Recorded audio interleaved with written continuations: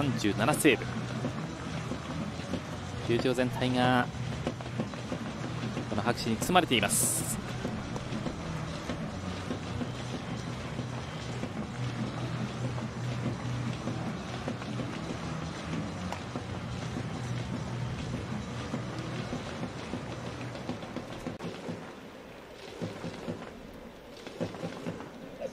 三振！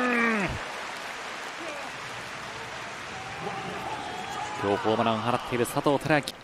三振。ツーシームで切って取りました。落差もありました。ストレート。2者連続三振。隙を見せませんでした。マウンドで躍動します。